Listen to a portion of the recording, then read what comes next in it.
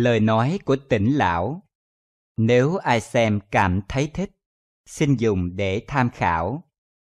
Lý Minh Tuyết, bút ký, lời người dịch Lời nói của tỉnh lão là một quyển sách dung chứa những giáo lý về Phật Pháp có thể giúp ích cho những ai tu theo pháp môn tịnh độ. Từ người mới học Phật được hiểu rõ thêm về pháp môn này, cũng như những ai đã tu học bao năm mà vẫn chưa đoạn được phiền não, chưa lìa khổ được vui. Pháp sư Tịnh Không đã xem qua và tán thán quyển sách này, cũng như đã lưu thông cho nhiều người biết đến. Ngài cũng đề nghị chúng ta nên xem nhiều lần và học tập theo tỉnh lão. Nhận thấy đồng tu Việt Nam vì không cùng chung ngôn ngữ, nếu không được đọc qua thì quả là một thiệt thòi rất lớn. Do đó, chúng tôi là một nhóm người đang tu theo pháp môn tịnh độ tông. Phát tâm đem khả năng nhỏ mọn dịch lại quyển sách ra Việt văn. Hy vọng giúp đỡ được quý vị đồng tu trên con đường tu tập. Tuy đã cố gắng để hoàn thành cho thật mỹ mãn, nhưng vẫn không sao tránh khỏi những sơ sót ngoài ý muốn về dịch thuật cũng như ấn loát. Ngưỡng mong quý vị cao minh và các đồng tu miễn thứ và hoan hỷ cho những sai sót, lỗi lầm cũng như lời văn nông cạn của chúng tôi Nhóm dịch thuật và biên soạn kính cẩn Melbourne, Úc Đại Lợi, ngày 1 tháng 3 năm 2015. Lời nói của tỉnh lão. Nếu ai xem cảm thấy thích, xin dùng để tham khảo. Lý Minh Tuyết, bút ký. Cổ Đức Vân. Thị học giả vị năng phá tướng. Đảng năng y tướng chuyên chí vô bất vãng sanh bất tu nghi giả. Tỉnh lão chi giáo diệt như thị. Thích tịnh không kính đề ngày 5 tháng 2 năm 2014 tạm dịch. Cộ đức nói, người mới học không thể phá tướng, nhưng có thể y tướng chuyên chí, không thể không vãng sanh, không cần hoài nghi. Lời dạy của tỉnh lão cũng như vậy. Đối với sách phật phải cung kính, không nên tùy tiện để bừa bãi phải chân tâm tu hành thì mới không lãng phí thời gian hoặc tạo nghiệp tỉnh lão viên tịch vào lúc 5 giờ 15 phút sáng ngày 12 tháng 7 năm 2010 hưởng thọ 98 tuổi Tỉnh lão trước khi về Tây Phương, Ngài khai thị rằng trách nhiệm của quyển sách này rất trọng đại, là vì dùng để cứu độ chúng sanh trong thời mạt Pháp. Quyển sách này có thể cứu người. Thực hành y theo ý pháp của quyển sách này, tâm đừng quên Phật và cũng kỳ danh niệm Nam Mô A Di Đà Phật, tự nhiên có thể tương ứng chư Phật Bồ Tát và lực lượng âm thầm gia trì của tôi. Hậu học Lý Minh Tuyết cẩn ký Lúc ban đầu, tỉnh lão không đồng ý cho tôi chụp hình để kỷ niệm. Ngài thường khai thị với tôi, thấy tướng không bằng thấy Pháp. Nhưng qua nhiều lần tôi yêu cầu, cuối cùng Ngài mới đồng ý. Cho nên đến bây giờ tôi mới công khai những tấm hình này nhân dịp Pháp Sư Tịnh Không ấn chứng quyển sách này, đồng thời Hoàng Dương mạnh mẽ, và qua sự đồng ý của gia đình tỉnh lão, mới đem đức tướng của Ngài công khai cùng đại chúng. Nguyện những đại đức hữu duyên xem qua quyển sách này, đều y giáo phụng hành, niệm Phật sửa tập khí, cầu sanh Tây Phương. Nam Mô A Di Đà Phật. Tỉnh Lão Ân Sư Tịnh không lão Pháp Sư. Hậu học Lý Minh Tuyết Chí tâm đảnh lễ. Lời khai thị của tịnh không Pháp Sư. Tôi đến nơi đây thấy một quyển sách do Đài Loan xuất bản gọi là Lời nói của tỉnh lão. Tỉnh là yên tĩnh. Ông dùng những lời rất dễ hiểu và rõ ràng giới thiệu cho mọi người biết về Tây phương cực lạc. Lời nói đơn giản nhưng ý rất sâu sắc, lời nói thật hay. Kinh luận nói không hay thì người nghe không hiểu. Ông nói người nghe hiểu và lời nói của ông không trái với kinh điển, đó là quyển sách tốt. Tôi nghe đệ tử của ông nói, ông hy vọng quyển sách này tương lai có duyên khiến tôi thấy được. Hiện nay duyên phần thành thục, tôi thấy và chứng minh cho ông quyển sách này là chánh pháp, chớ không phải tùy tiện mà nói. Y theo lời giáo huấn trong quyển sách này tu hành, quyết định được sanh tịnh độ. Tôi chứng minh điều đó với mọi người. Dùng cái gì để chứng minh? Tôi lưu hành quyển sách này, dùng phương pháp này và hoan hỷ giới thiệu tịnh độ tông đến người khác. Đó mới là chân chính tri ân và báo ân. Pháp môn niệm Phật được lưu hành mới phù hợp với bổn nguyện của Như Lai. Lưu thông pháp bảo là việc tốt nhất trên thế gian. Lưu thông không cầu hồi báo thì công đức càng lớn hơn nữa. Xem qua quyển sách lời nói của tỉnh lão, đó là hành vi của Bồ Tát. Tuyệt đối không phải là phàm phu. Chúng ta phải học tập theo ông. Vậy bạn cũng là Bồ Tát. Lời nói của tỉnh lão phải thường xem nhiều lần thì rất hữu ích cho vãng sanh tịnh độ. Quyển sách này có thể tương đương với quyển Đại Kinh Giải của Ngài cư sĩ Hoàng Niệm Tổ. Quyển Đại Kinh Giải nói rất tỉ mỉ. Về tôn chỉ phương hướng mục tiêu đều giống như quyển Đại Kinh Giải, nhất định phải xem nhiều lần. Đạo lý trong quyển sách giống như Phật nói, chuyên độ người hữu duyên. Giới thiệu sơ lược về tỉnh lão Nguyên tên của tỉnh lão trong đó có chữ tỉnh, nên tôi và người nhà tôn xưng ngài là tỉnh lão. Nguyên quán tỉnh lão thuộc tỉnh Sơn Đông, thời thơ ấu gia đình khá giả. Sau vì chiến tranh loạn lạc, nên theo quân đội đến Đài Loan định cư. Từ lúc sinh ra đến 13 tuổi, cha mẹ tuần tự qua đời. Sau đó, ba người chú nuôi dưỡng ngài đến trưởng thành. Cha mẹ ngài lúc còn tại thế không có tu hành. Cha ngài sau khi tạ thế luân hồi vào quỷ đạo. Mẹ luân hồi làm người Việt Nam. Nhưng sau điều nhờ phước tu hành của ngài, nay đã vãng sanh về thế giới Tây phương cực lạc. Tỉnh lão sanh năm dân quốc năm thứ hai, năm 1913. Tướng mạo giống như người trên 60 tuổi. Đã từng nhận chức giáo sư chuyên khoa, bấy giờ đã về hưu, bước đi nhanh và vững vàng. Tiếng nói hùng hồn, không thích danh lợi cúng dường. Ngài chưa từng đi đến đạo tràng hoặc tự miếu, chưa từng xem qua quyển kinh sách nào. Nhưng tâm của ngài thanh tịnh không vọng niệm. Tâm chỉ có phật và một câu phật hiệu niệm cho đến cùng. Không từng thay đổi hoặc thêm một pháp môn nào khác nhất môn thâm nhập.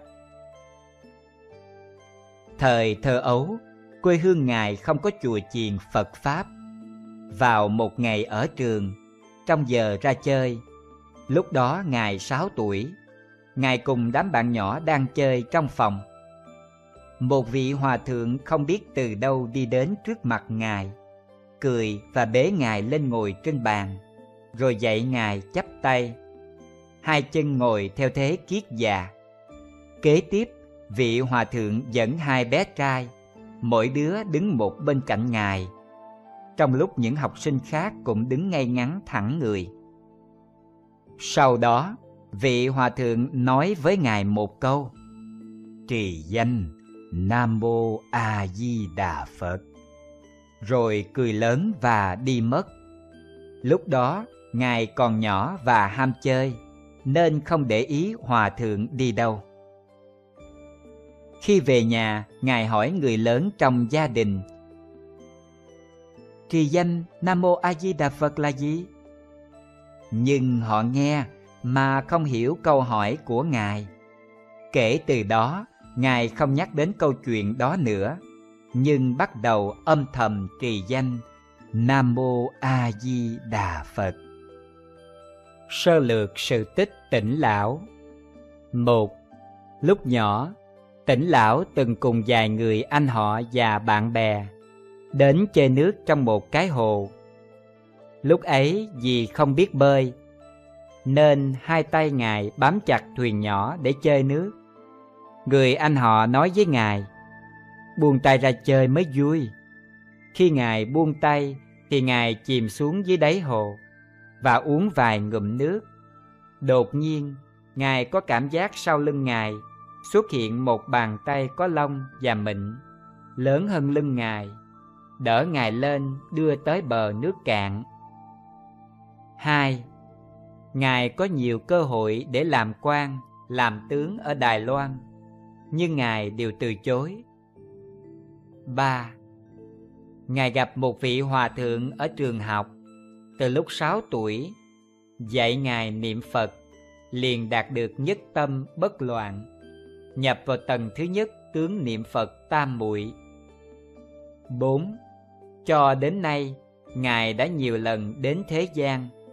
Lần này đến với mục đích không phải dùng thân phận công khai để giúp đỡ chúng sanh theo phương thức giảng kinh thuyết pháp mà âm thầm hộ vệ chúng sanh giúp chúng sanh giảm bớt sự đau khổ có được những ngày tháng bình an hơn đồng thời giúp chúng sanh có được tín nguyện hạnh niệm phật giảng sanh tây phương cực lạc thế giới. Lời nói đầu. Năm Dân Quốc 78 năm 1989 Hậu học bắt đầu tiếp xúc Phật Pháp. Trong thời gian đó, Tuy có niệm Phật, Nhưng cũng tập tu nhiều pháp môn, Nhiều lần vấp ngã. Mãi đến năm Dân Quốc 85 Năm 1996 Nhờ ơn Phật Bồ Tát Tôi gặp được tỉnh lão Ngài xem tôi như người thân và dạy bảo tôi con đường tín, nguyện, hạnh niệm Phật, giảng sanh Tây Phương cực lạc thế giới. Nhưng tôi vốn tánh ngu si, tội nghiệp sâu dày, tâm phàm phu đến nay vẫn còn rất nặng. Nhưng so với lúc trước thì đã cải thiện được một phần nào. Nhờ ân huệ Phật Bồ Tát khiến tôi được gặp tỉnh lão và được Ngài dạy cho giáo lý và phương pháp tốt như vậy. Bắt đầu từ năm Dân Quốc 91, năm 2002, tôi mới đem những lời giáo huấn của Ngài ghi chép lại. Tôi nghĩ sau khi được Ngài đồng ý thì đem quyển sách này ra để cùng mọi người chia sẻ. Ngài đã giám định nội dung quyển sách và tên sách cũng do Ngài đặt ra. Tuy bây giờ, duyên của chúng ta không giống thời chánh pháp, được làm đệ tử ở bên cạnh phật. Nhưng chúng ta chỉ cần y theo giáo lý và phương pháp chính xác để điều chỉnh phẩm chất của tâm mình, hiệu quả cũng giống như vậy, tức là đệ tử phật. Thật ra, tôi muốn kể lại nhiều sự tích của ngài, để chúng ta hiểu ngài rõ ràng hơn nhưng Ngài không thích danh lợi và căn dặn tôi nhiều lần, phải y giáo không y nhân. Ngài đem Phật Pháp nguyên thủy và dùng văn tự rất cạn, để những người bận rộn không có thời giờ xem sách, hoặc chúng sanh thời mạt Pháp, xem kinh sách mà khó hiểu Pháp ý cũng đều có thể dễ dàng sử dụng Pháp tướng văn tự. Tướng văn tự tuy cạn nhưng pháp ý rất thâm sâu và vững chắc. Hy vọng những người có nhân duyên tiếp xúc được quyển sách này có thể dùng trực tâm mà học tập, đồng thời thường ôn tập và thực hành nội dung của pháp ý. Chớ đem tâm thái luận pháp khi xem sách này, Như vậy mới có thể hiểu được giáo lý và phương pháp của Phật nói mà thật tu hành và suốt đời thực sự niệm Phật, trực chỉ giảng sanh Tây Phương cực lạc. Hậu học Lý Minh Tuyết Cận Ký Lời nói của tỉnh lão, nếu ai xem cảm thấy thích, xin dùng để tham khảo. Phật Pháp là tâm Pháp, cho nên tất cả phải từ tâm địa bắt đầu. Vạn Pháp duy tâm tạo, chúng ta đi theo lục đạo hay Tây phương cực lạc thế giới, hoàn toàn do phẩm chất của tâm chúng ta quyết định. Phạm phu chúng ta vì thức thứ tám, kho chứa tập khí tồn trữ rất nhiều. Rất sâu chủng tử tập khí của vọng tưởng chấp trước như tham, sân, si, phân biệt, chấp ngã, ngũ dục, lục trần, vân vân. Nếu như không thật tu hành thì sẽ vĩnh viễn ở trong luân hồi lục đạo.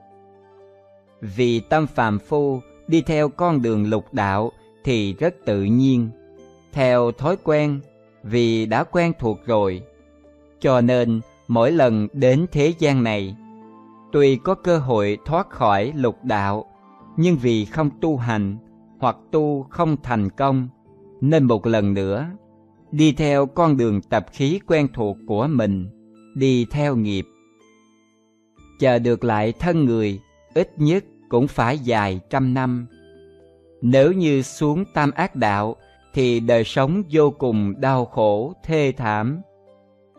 Giảng sanh tây phương cực lạc thế giới con đường thành phật đó Tuy phàm phu chúng ta thấy xa lạ, nhưng chỉ cần chúng ta chân chính thực hành lời Phật dạy, nhất môn thâm nhập, chân tín, nguyện, hạnh, niệm Phật sửa tập khí, thì có thể thoát khỏi lục đạo luân hồi. Đời này đương nhiên có thể đổi hướng đi, hướng về giảng sanh Tây Phương, con đường thành Phật. Chỉ cần chân chính, tín, nguyện, hạnh trì danh Nam Mô A Di Đà Phật, tức là tổng trì của tất cả Phật hiệu, tất cả kinh Phật, tất cả Phật pháp. Chúng sanh thời mạt pháp vô phước vì không cùng sống trong thời có Phật và cũng rất khó có cơ hội gặp được thiện tri thức chân chính. Không có Phật bên cạnh luôn gia trì và giáo dục giả lại thường lấy ý nghĩa và đạo lý bề ngoài của văn tự cho là Phật Pháp. Không biết gì là tu hành chân chính, không biết cái gì là sửa đổi tập khí, cho nên không tìm ra con đường giải thoát. Phật đã biết trước căn tính và hoàn cảnh chúng sanh thời mạt Pháp rất tội nghiệp. Vì muốn cứu độ chúng sanh thời mạt Pháp, nên Thích Ca Mâu Ni Phật và A Di Đà Phật mới đặc biệt hợp tác đề xướng pháp môn tín, nguyện, hạnh, niệm Phật đơn giản và thù thắng. Phàm phu vì có thói quen vọng tâm hay phan duyên, cho nên nếu nhất môn thâm nhập tu theo pháp môn tịnh độ, để tâm ta phan theo Phật hiệu, tức là con đường thích hợp nhất cho người thế gian. Tuy rằng rất nhiều người đều đang niệm Phật, tu theo pháp môn tịnh độ, nhưng không ít người chẳng biết cửa vào. Pháp môn tịnh độ là ở ngoài tám dạng bốn ngàn pháp môn, nhưng lại bao gồm tất cả tám dạng bốn ngàn pháp môn, là pháp môn tối thù thắng, vì rất giản dị lại có Phật lực gia trì, không những không cần thầy chỉ đạo chỉ cần trong tâm có Phật, Phật hiệu là thầy tốt nhất của chúng ta, là vô thượng sư. Bất luận sĩ, nông, công, thương, ở bất cứ thời gian nào, địa điểm nào, cũng đều có thể niệm Phật mà không một chút ảnh hưởng đến công việc và đời sống hàng ngày. Bất luận thân ở tại đâu, một đời này đều phải có quyết tâm muốn giảng sanh Tây Phương cực lạc thế giới. Một đời này không thể quên Phật, mà phải tin sâu rằng niệm Nam Mô A Di Đà Phật, tâm không rời Phật, Phật không rời tâm, tức có thể tăng phước huệ, càng được bình an thuận lợi. Cư xử với người trong gia đình và người ngoài càng hài hòa. Và khi duyên thế gian đời này hết, cũng không luân hồi thành súc vật hoặc thân lục đạo vân dân, mà có thể giảng sanh Tây Phương, được thân như Phật Bồ Tát, vĩnh viễn không còn đau khổ.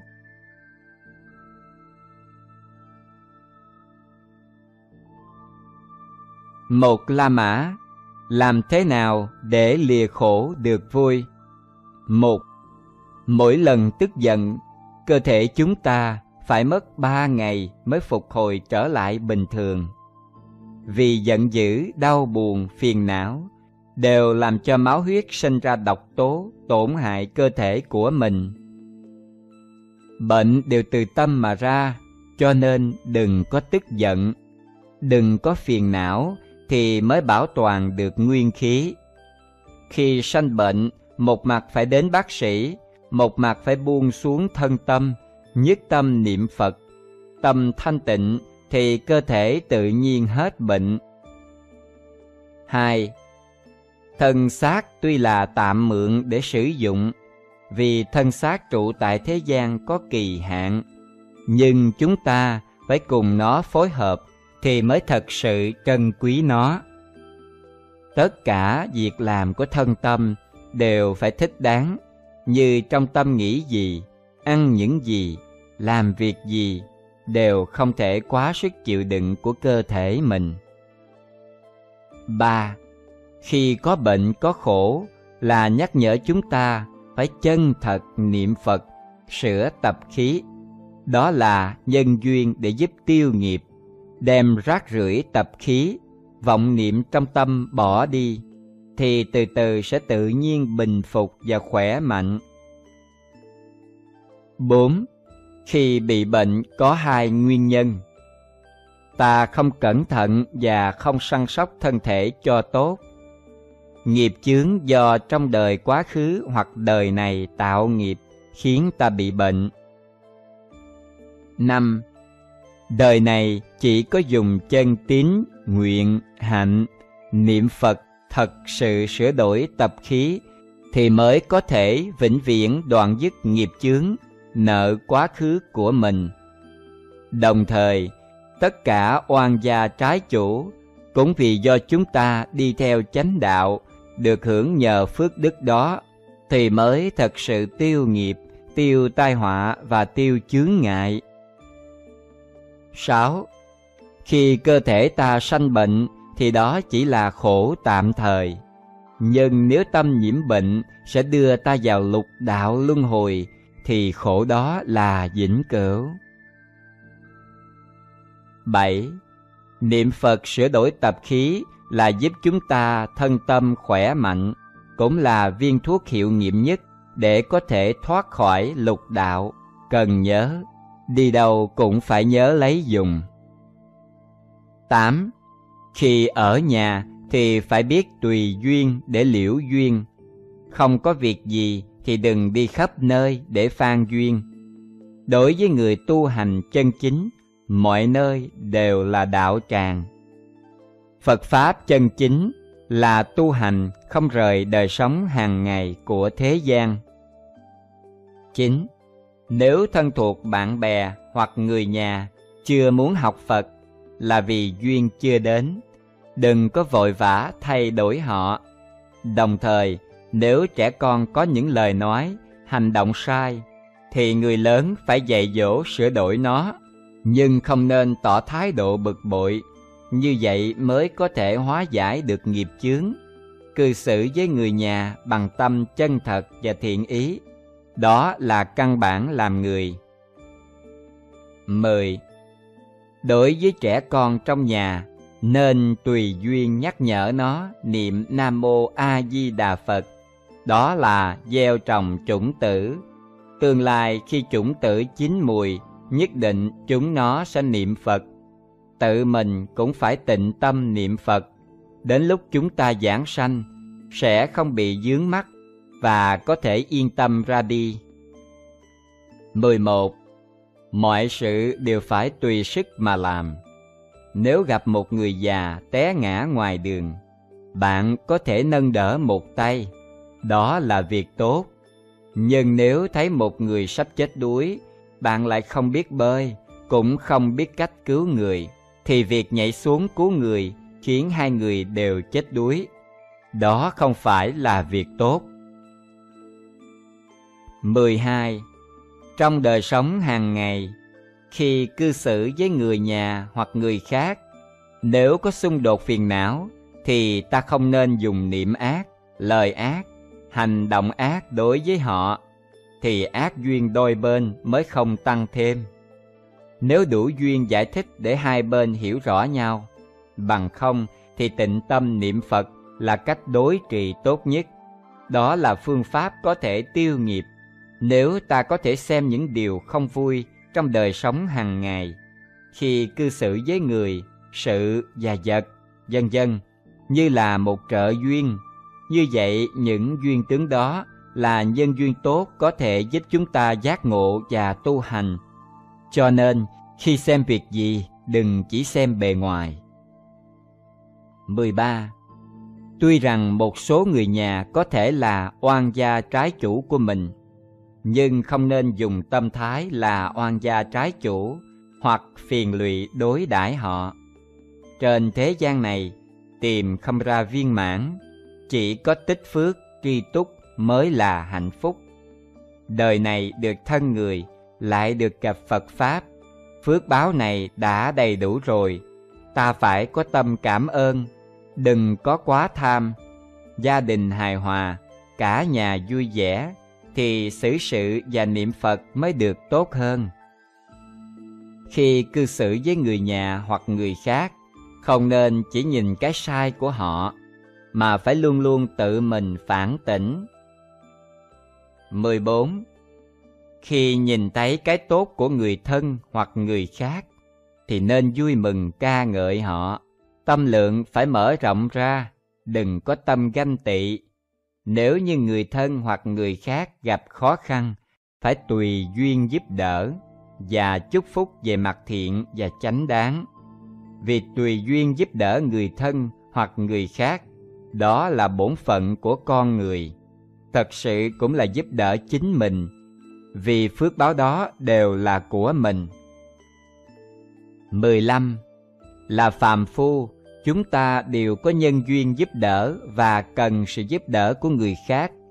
Khi đó chúng ta nên dùng thái độ thiện và chánh đáng để giúp hoặc nhận, nhưng không nên lạm dụng sự từ bi.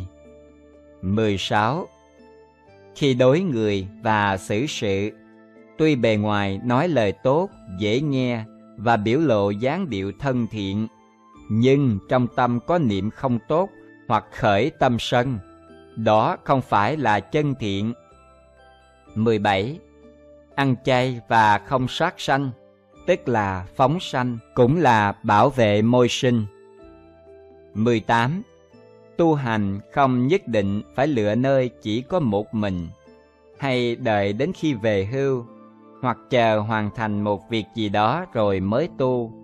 Giữ tâm trạng nhẹ nhàng, khi tâm không cần chuyên chú vào việc gì thì bất cứ lúc nào, nơi nào đều có thể niệm Phật, đều có thể đem tâm bám sát vào câu Phật hiệu. 19. Tu hành nếu đi đúng đường, do gì được Phật lực gia trì, gặp phải chuyện gì thì có thể bốn lượng chuyển ngàn cân. Từ trường của tâm và các duyên đều tự nhiên được cải thiện. Do bởi sự tu hành của bạn, gia đình tự nhiên được hòa thuận an lạc hơn và đời sống càng được bình an thuận lợi hơn. Dù cảm thấy không lý tưởng thì cũng không tiếp tục xấu hơn. 20. Kiếm tiền bạc chân chính thì dù kiếm được nhiều cũng không gọi là tham, nhưng cũng nên để cho kẻ khác kiếm nữa. Giàu có là tốt, nhưng phải có kế hoạch, biết tích phước tiết kiệm tiền phải dùng nơi chánh đáng và làm việc thiện, mà tâm không tham luyến tướng lục trần, mới thật là có phước báo. Tiền ít thì sống cuộc sống của tiền ít. Bần cùng cũng phải cảm ơn, vì bần cùng có thể bớt đi nhiều việc, ít kế hoạch, vân vân. Lại có cơ hội thấy được sự lạnh ấm của thế gian. Không thể dùng tiền bạc để mua sự tự tại của tinh thần. Có tiền, có thảnh thơi là giả tự tại. Buông xuống tập khí mới thật là tự tại. Từ được thấy phàm phu, từ mất thấy tịnh trí. 21. Vì muốn đời sống được bình an thuận lợi hơn, nên phải kế hoạch phòng ngừa. Nhưng giàu sang không thể liễu sinh tử, không nên quá xem trọng. Chỉ cần kế hoạch chính đáng, cuộc sống tạm qua ngày là được. Người có tâm hẹp hòi, tham vọng như đại hải thì mới thật là người rất bần cùng, cũng là người nô lệ đồng tiền đáng thương hại nhất. 22.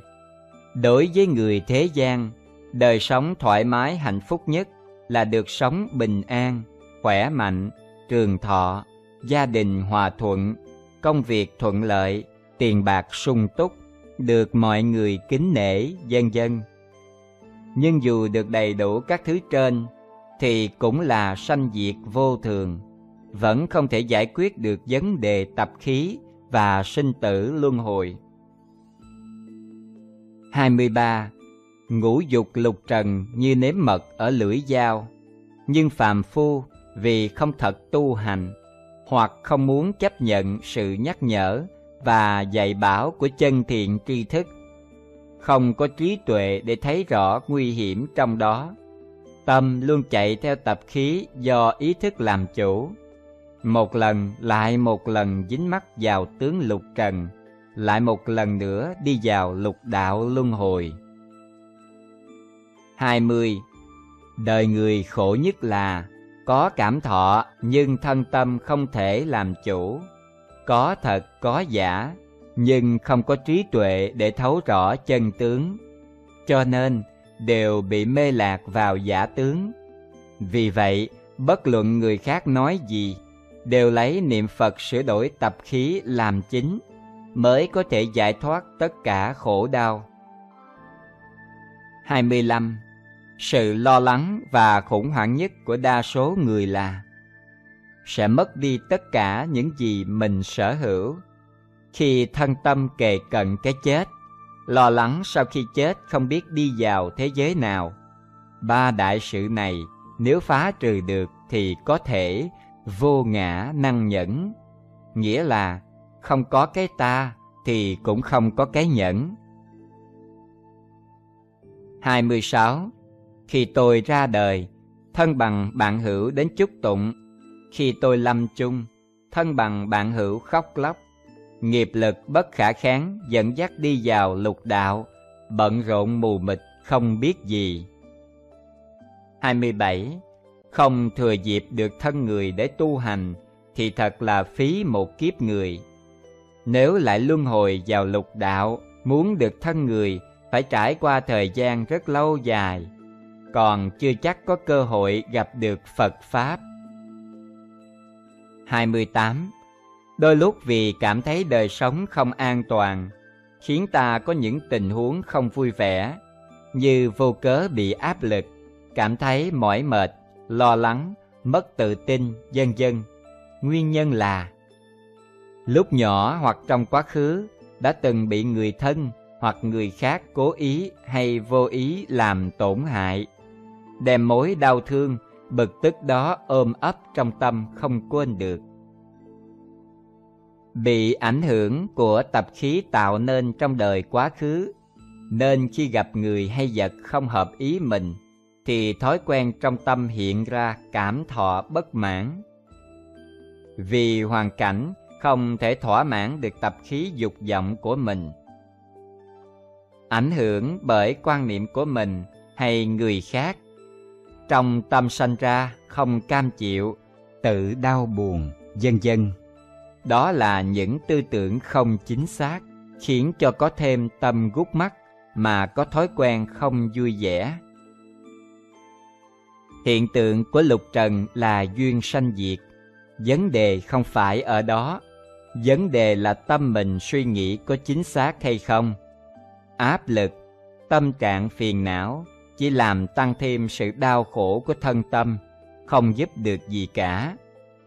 Gặp phải chuyện đau khổ đều là nghiệp báo của mình đã tạo trong quá khứ. Nhân cơ hội gặp khổ thì càng phải biết tích phước.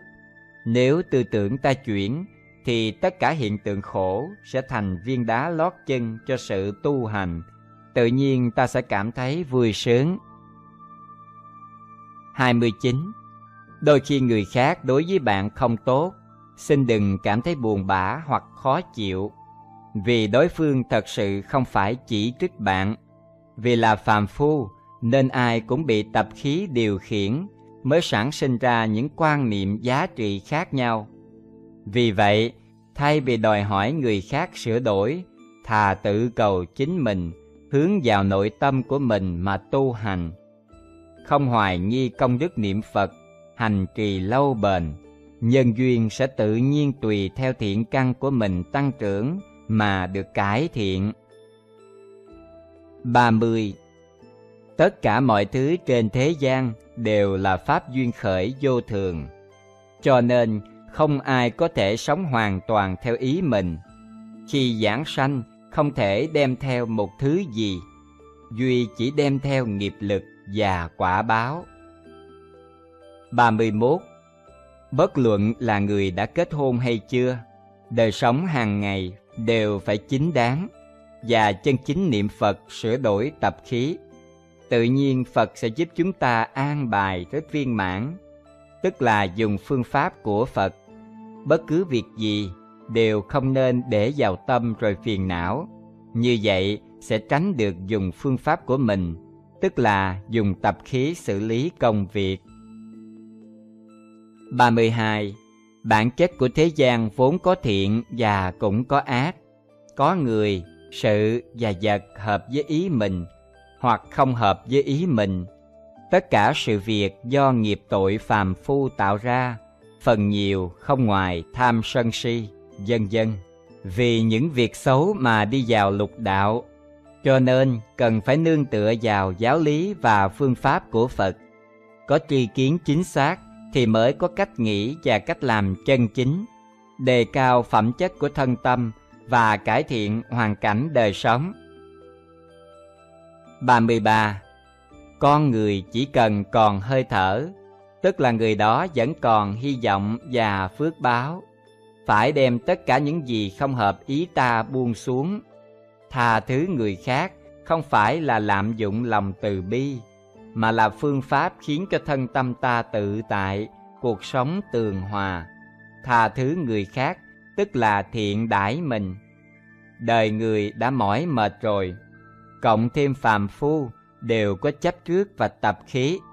Nếu vì tâm gút mắt lại khiến cho mình khổ càng khổ thêm, thật không đáng chút nào. Nếu có thể dùng tâm bình thường đối xử với thế gian, thì đời sống sẽ thoải mái hơn. 34. Nếu không chuyển đổi tri kiến, cách nghĩ, thì không có cơ hội đổi đường đi. Đến nơi nào cũng đều cảm thấy đau khổ. 35. Vận mệnh của đời này và đời sau đều bị ảnh hưởng bởi tri kiến và cách nghĩ. Cho nên, phàm phu thời mạt Pháp muốn lìa tất cả khổ đau, nhất định phải chuyên tâm nhất trí tu hành giáo lý và phương pháp của pháp môn tịnh độ. 36. Trên thế gian này, tất cả người, sự và vật, duyên và tướng vô thường của lục trần đều không thể nương tựa để thoát sanh tử.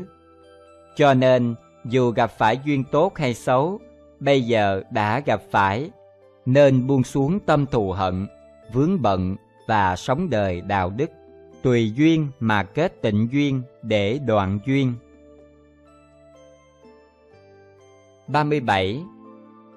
Mỗi sự việc, mỗi tướng, mỗi sát na đều là sanh diệt, không phải là tướng nối liền như ta thấy biểu lộ ở bề ngoài.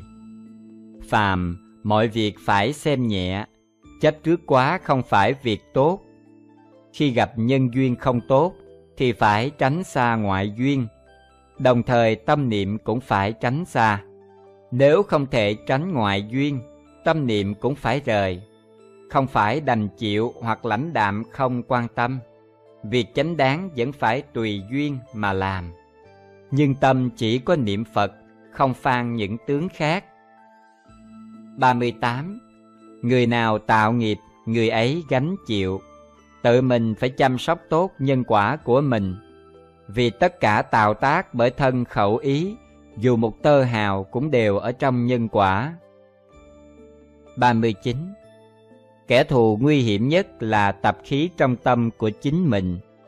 Cho nên, đừng nghĩ sửa đổi người khác để phù hợp với ý mình, mà nên tự mình sửa đổi. Khi gặp chuyện nên dùng phương pháp thiện và hài hòa để xử lý. Sau đó buông xả và niệm Phật để cho mình hướng đến con đường nhân quả tốt đó mới thật sự là bảo hộ mình. 40. Nếu mình không thật sự niệm Phật, lại không xả bỏ tập khí, mà cứ đem những đau khổ do tập khí mình gây ra đổ tội cho người khác, hoặc chỉ hy vọng được Phật đồng tình, giúp đỡ, dân dân. Những cách nghĩ và cách làm đó đều do tri kiến không chính xác dẫn đến dùng sai phương pháp và đi sai đường. 41. Mọi sự việc trên thế gian đều có tốt, xấu lẫn lộn, giống như bức hình ráp phức tạp và lộn xộn. Trên đường đời khó tránh được những lúc không vừa ý. Khổ không phải là đường cùng, mà chỉ là một quá trình và cũng là bàn đạp để tu tâm. 42. Tâm vốn thanh tịnh vô nhiễm, nhưng vì niệm tham khởi lên mới sinh ra phân biệt, vọng niệm, chấp trước, dần dần rồi mới có vọng tâm. Tất cả hiện tướng của lục trần không chiêu cảm người ta, mà tự mình bị tập khí vọng tâm của chính mình chiêu cảm tướng lục trần.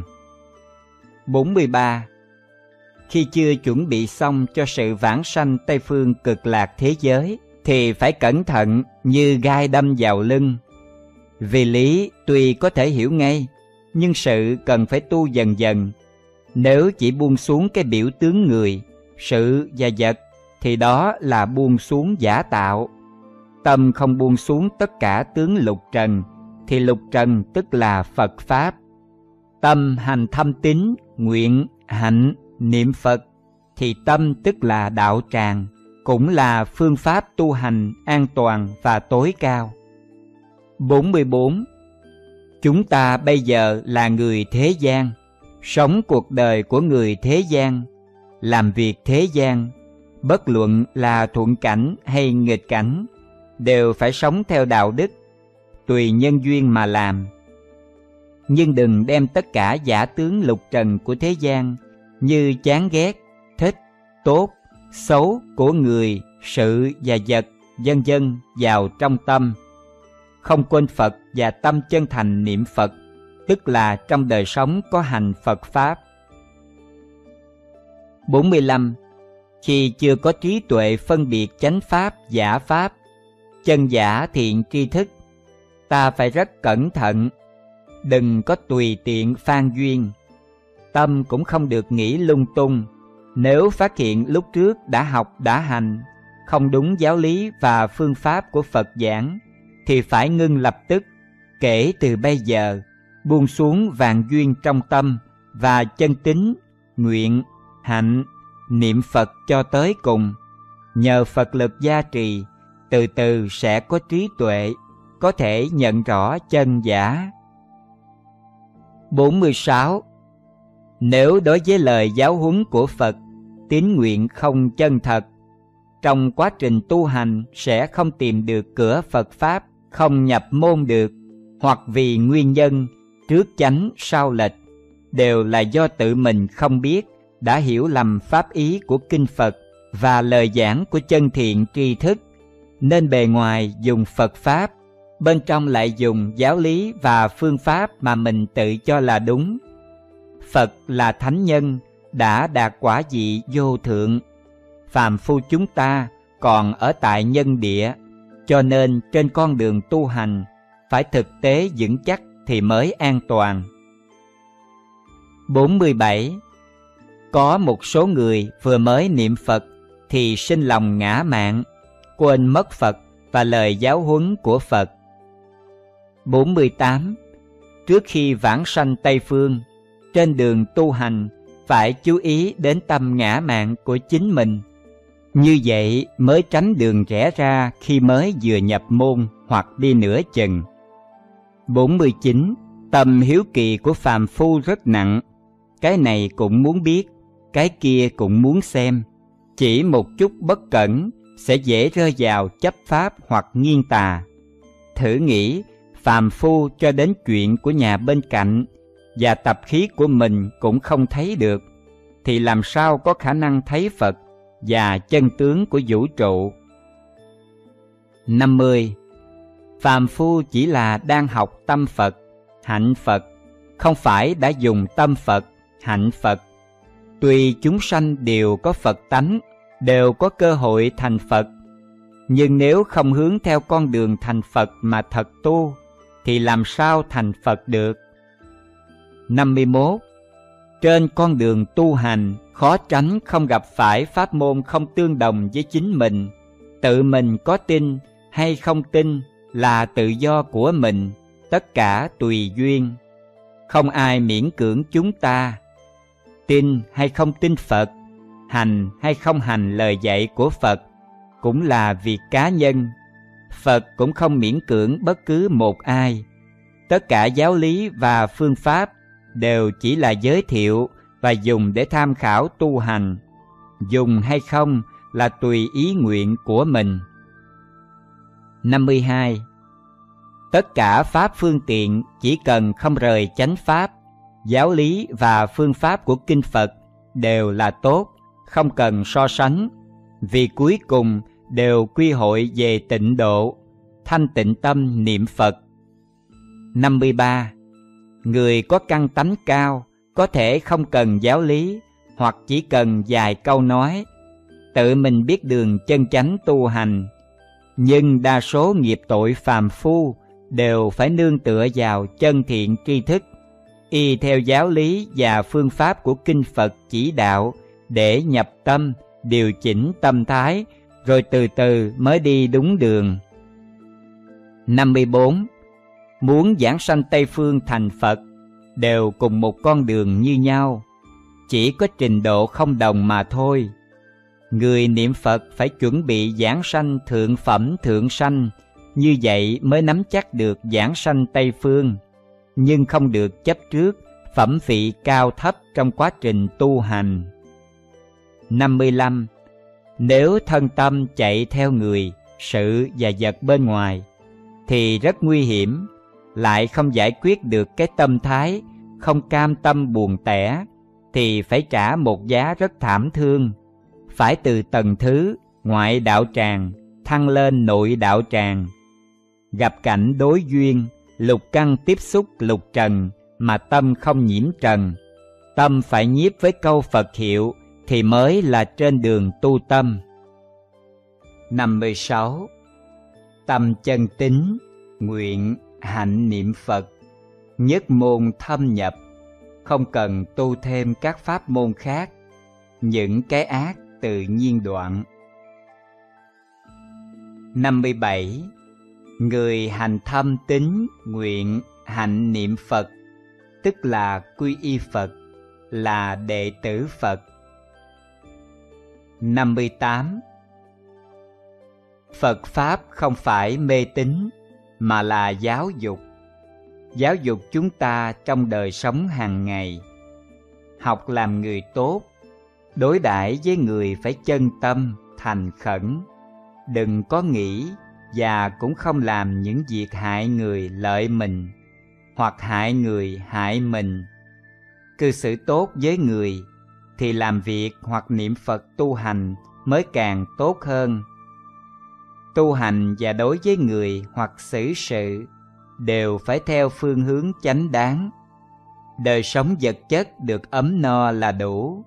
Nếu quá lượng thì sẽ trở thành nô lệ vật chất và cũng là đang tổn phước. Phải đi con đường thiện, tự mình dụng công tu hành, chăm sóc gia đình tốt. Tuy không cố ý làm việc tốt nhưng cũng không thể tự tư tự lợi. Nếu tự nhiên có cơ hội làm việc tốt, thì tùy duyên lượng sức mà làm. Làm bất cứ việc gì tốt, đều đừng nghĩ muốn được lợi ích của thế gian, mà phải để tâm vào chân không bát nhã. Tuy làm việc thiện, nhưng tâm không có tướng làm việc thiện, thì sẽ được phước báo suốt thế gian hướng theo con đường tâm không chấp tướng, không trụ tướng, và tính, nguyện, hạnh niệm phật. 59. Phật Pháp là tâm Pháp. Tất cả phải bắt đầu từ tu tâm. Không phải học về học vấn, Cũng không phải học để thi cử, Hoặc học thuộc bao nhiêu kinh sách, So sánh số lượng niệm Phật nhiều ít. Tĩnh tọa bao lâu?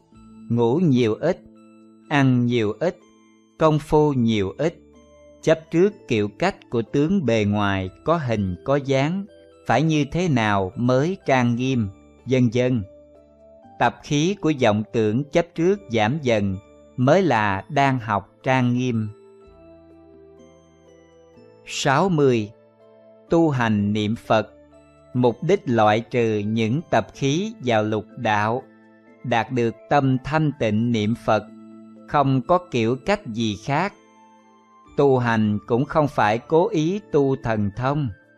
Chân chánh thần thông không phải là học được, mà là khi chúng ta tu hành, đem chủng tử của tập khí như chấp trước, vọng tưởng, vân vân, tiêu trừ do tâm thanh tịnh của mình có đầy đủ công đức, tự nhiên thần thông xuất hiện cho ta vận dụng. 61 chúng ta có bao giờ tịnh tâm suy nghĩ tỉ mỉ? Mỗi ngày chúng ta bận rộn những việc làm. Có thật sự khiến ta an tâm không?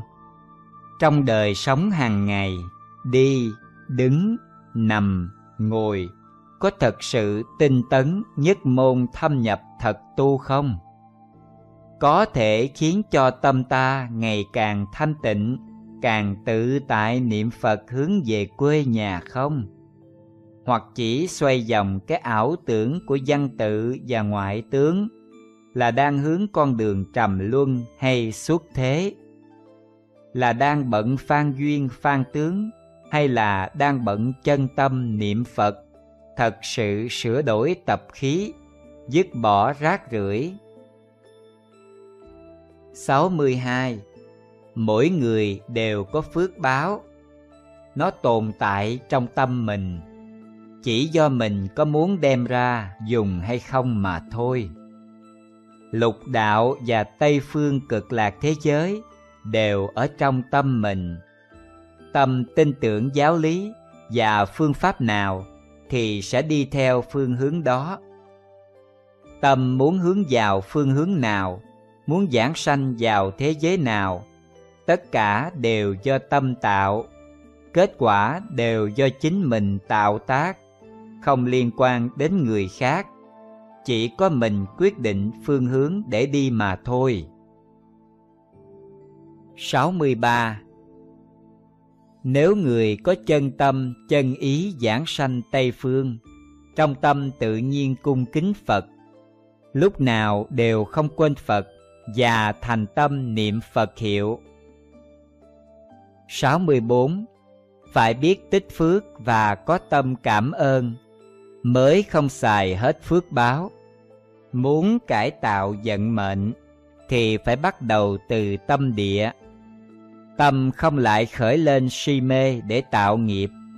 Tâm chân thành niệm Phật thì vận mệnh tự nhiên sẽ từ từ cải thiện và cũng có thể liễu sanh tử.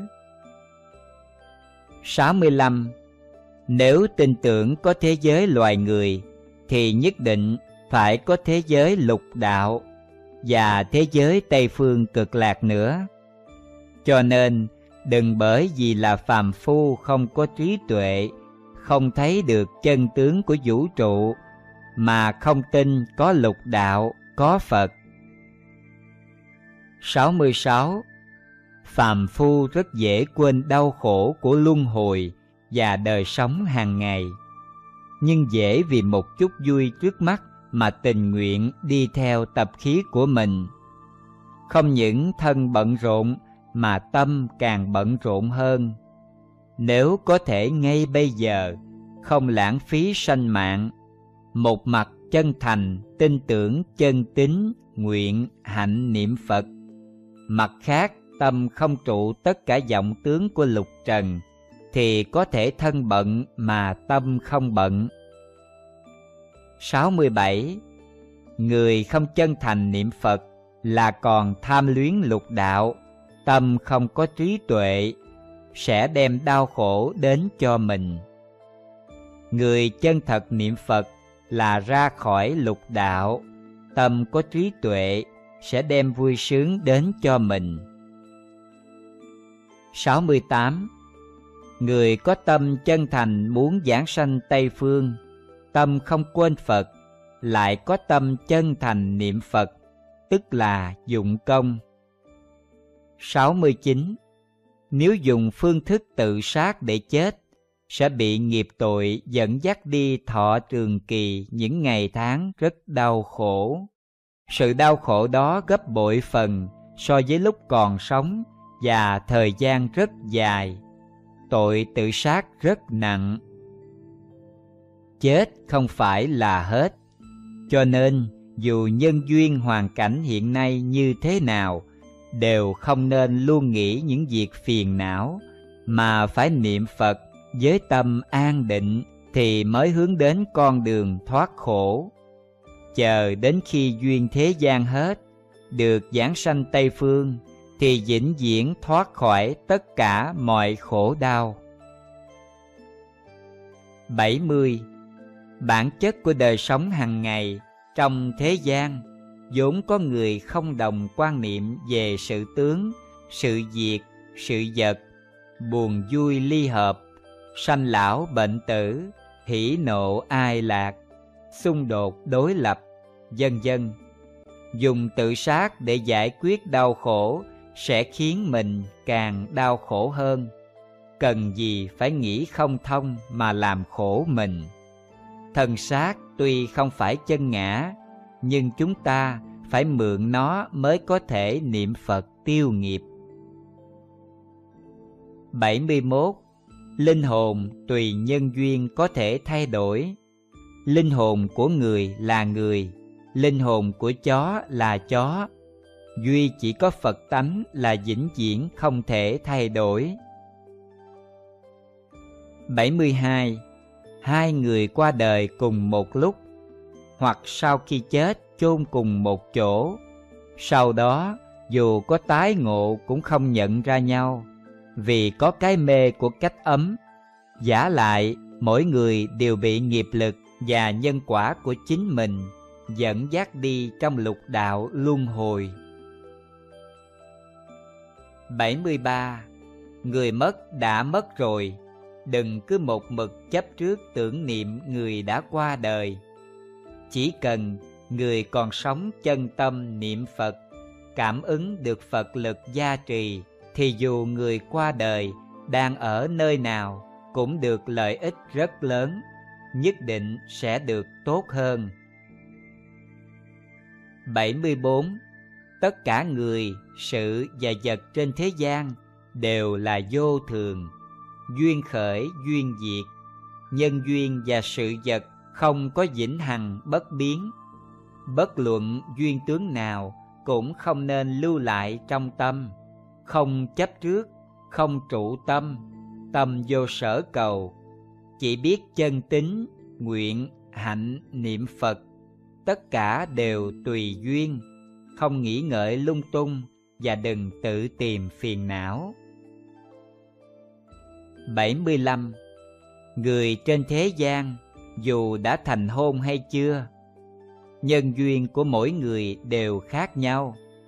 Hàng ngày, ta phải sống tùy theo nhân duyên và hoàn cảnh của mình. An phận thủ thường, đừng so sánh với người khác. Nên biết, tất cả tướng và duyên đều là vô thường. Duyên khởi tánh không. Bất cứ việc gì cũng đừng quá xem trọng tất cả nên thuận theo tự nhiên chăm chỉ niệm phật cầu giảng sanh tây phương thì mới không uổng phước báo có được thân người khó được này 76.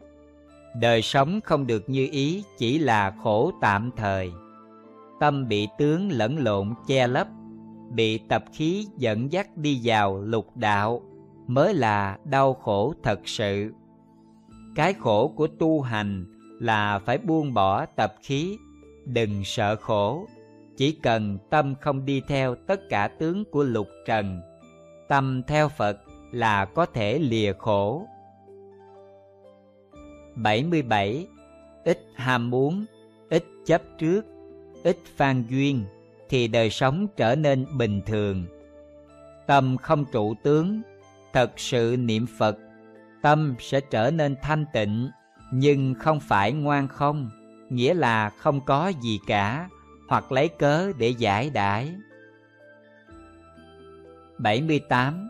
Đến cũng không không, đi cũng không không, đừng so đo với người sự và vật ở thế gian không ích kỷ cũng không lạm dụng sự từ bi nhập cảnh tùy tục tùy duyên hòa hợp với quần chúng nhưng tâm không phan vào duyên thế gian tâm không tùy tướng của lục trần mà khởi 79.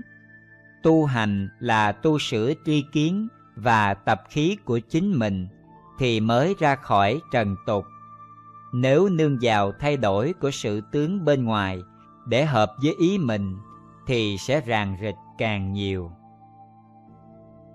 80. Thế gian là thế giới khổ, được trộn lẫn vào một chút vui vô thường. Thế sự đều vô thường, tất cả tướng đều nhân duyên sanh, nhân duyên diệt. Thế sự một phần vui sướng chính phần khổ có gì mà buông xuống không được buông xuống không phải là không màng đến đời sống hàng ngày mà là buông xuống tất cả tập khí trong tâm mình 81. Phạm phu cần cầu Phật phù hộ và chiếu cố thì mới có trí tuệ suốt thế gian và đủ lực lượng để có một đời sống vui vẻ tự tại và khi hết duyên thế gian thì có thể giảng sanh Tây Phương.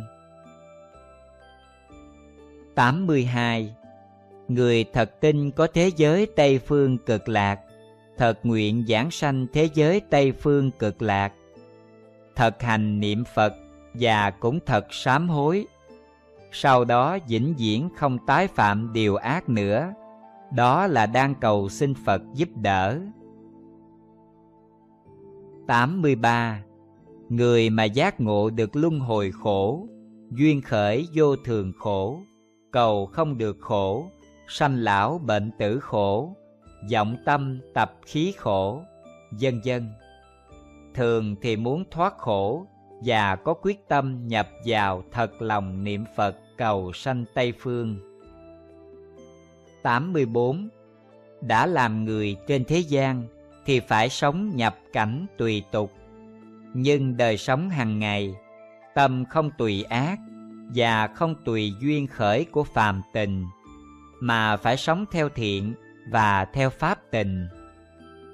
85 khi tai nạn hiện tiền đừng có kinh hoàng hoặc oán trời trách người mà phải tĩnh lặng phản tỉnh sám hối. 86. Trên thế gian, nếu tham lam chiếm đoạt tài vật người khác hoặc tham ô, dân dân thì kiếp sau phải luân hồi làm trâu, làm ngựa để hoàn trả cho người ta. 87. Nếu trong tâm khởi lên những niệm bất chánh đáng, phải đem tâm niệm chuyển sang niệm phật và thân khẩu ý vĩnh viễn không được tái tạo ác nghiệp hướng vào con đường niệm phật đó là sám hối và cũng là chân tinh tấn tu hành 88.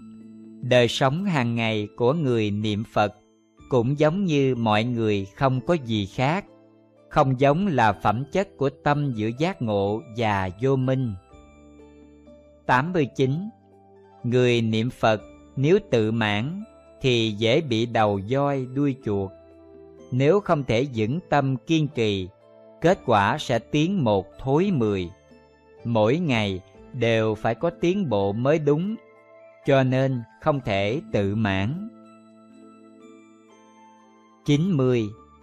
Muốn liễu sanh tử không phải dùng sức lực, cũng không phải xem ngoài tâm bạn đã làm được bao nhiêu sự nghiệp vĩ đại, mà là ở trong đời sống hàng ngày.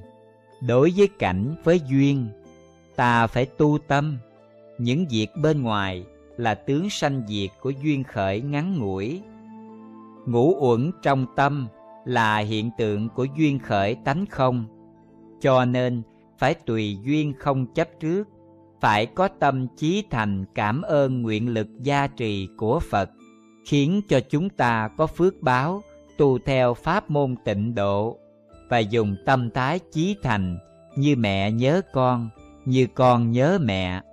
Chân tính nguyện, hạnh, niệm Phật, thân tâm đều phải dựa vào nguyện lực như biển của Phật. Và dựa vào công đức thọ dụng của Phật hiệu mới không bị tướng nội ngoại dẫn dắt khống chế. Tiểu kết ngữ. Trong đời sống hàng ngày, phải thật niệm Phật mới có thể có định huệ, thường giữ được tâm giác ngộ để giúp cho học tập tùy duyên niệm Phật học tập cách sống, học tập buông xuống trong đời sống hàng ngày. Có tiến bộ hay không? Có thể giảng sanh tây phương không? Tự hỏi mình là biết, không cần hỏi người khác. Làm thế nào để nhìn thấy giá trị của sinh mạng? Muốn hay không muốn tin phật, niệm phật, đi theo phật? Muốn giảng sanh vào nơi nào?